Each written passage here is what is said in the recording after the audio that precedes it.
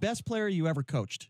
Well, on the collegiate level, without question, I had two number four picks, but it was Jamal Mashburn. He, Mhm. he was the best college player I've coached. Uh, I've coached a lot of great ones, but he was the best college player. Uh, and, and certainly in the pros, uh, it would either be Patrick Ewing or Paul Pierce. Yeah. You know, it's um, hmm both of them were great. Um, both both guys, great guys as well as great players, and Mhm. um, I've had so many. I was very lucky.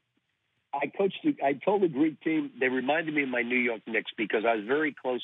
Still am today with Patrick Ewing, Mark Jackson, Charles Oakley.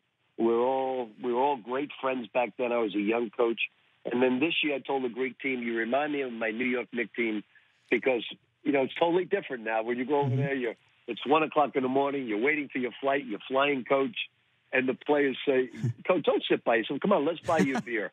and uh, I said, "Boy, this is a lot different than any other time."